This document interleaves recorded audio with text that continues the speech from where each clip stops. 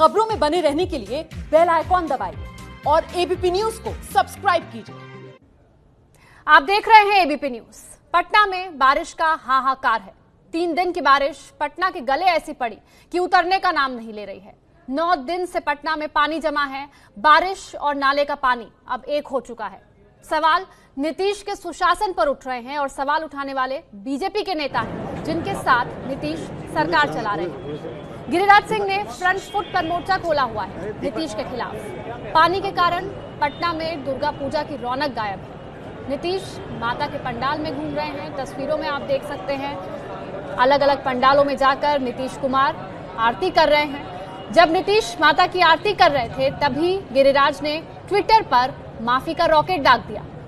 गिरिराज ने एनडीए की ओर से बिहार की जनता से पूजा में व्यवधान के लिए माफ़ी मांग ली। जेडीयू पहले से गिरिराज के हमलों से चिढ़ी हुई है। नीतीश की पूजा के बाद गिरिराज के माफ़ी वाले ट्वीट से मामला बढ़ गया है। जेडीयू महासचिव केसी त्यागी ने पीएम मोदी और अमित शाह से गिरिराज को काबू में करने के लिए कहा है। ये सब तब हुआ है जब बिहार में चुनाव का माहौल बन रहा है। तो नीतीश के खिलाफ गिरिराज सिंह ने मोर्चा खोला हुआ है, लेकिन जेडीयू ने मोदी शाह से उनकी शिकायत की है।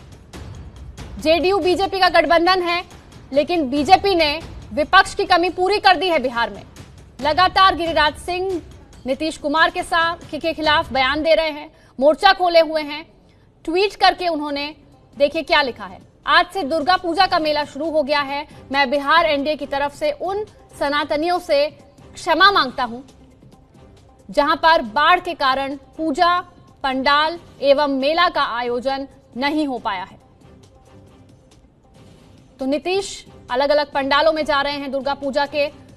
पटना में जल जमाव की वजह से लोग पूजा नहीं कर पा रहे हैं। और ऐसे में गिरिराज सिंह ने ट्वीट कर ये माफ़ी मांगी है। केसी त्यागी का कहना है कि जितना आक्रामक गिरिराज सिंह का बयान है, उतना तो तेजस्वी यादव का भी नहीं है। केंद्रीय मंत्री गिरिराज सिंह ने एक बार फिर एनडीए की तरफ़ से बाढ़ के लिए बिहार की जनता से माफ़ी मांगी है हमारे साथ हैं जेडीयू के प्रधान महासचिव और राष्ट्रीय प्रवक्ता केसी त्यागी। त्यागी जी गिरिराज सिंह मुझे लगता है तीसरी चौथी बार माफ़ी मांग रहे हैं। क्या आ, आप कहेंगे क्या एनडीए को माफ़ी मांगनी चाहिए बिहार की जनता से? देखिए एनडीए पहले से ही अपनी चिंताएँ शेयर कर चुका है कि पानी के भराव की वजह से जल भराव की वजह से पटना वासियों को असीम संकटों से गुजरना पड़ा। पानी कम होने के बाद भी बीमारियाँ कम होने का नाम नहीं ले रही हैं। ये कोई सुखद स्थिति हमारे लिए नहीं है। लेकिन ये ब्लेम गेम का समय नहीं है कि हम उन पर या वो हम पर आरोप प्रत्यारोप लगाएँ। ये संकट की घड़ी है पटना निवासियों के लिए, बिहार निवासियों के लिए। और खास तौर से जो एनडीए के वरिष्ठ लोग हैं, उनको सामंजस्य स्थापित करके इस विभीषिका से निजात पाने के प्रयास करने चाहिए। लेकिन गिरिराज सिंह ये पहली बार ये बयान नहीं दे रहे हैं लगातार इस तरह के बयान दे रहे हैं। गिरिराज सिंह जी केंद्रीय मंत्रिमंडल के सदस्य हैं। मुझे उनको तो कोई नसीहत नहीं देनी है।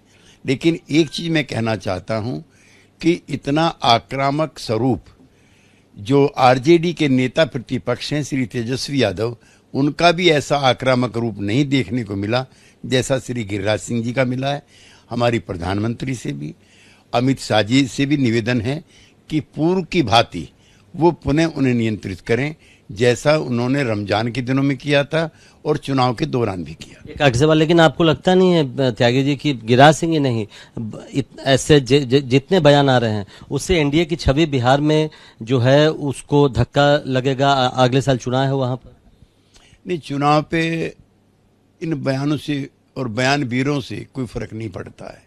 लेकिन जो कार्यकर्ता ज़मीन पर कार्यरत हैं, उनका मन ज़रूर कमज़ोर होता है।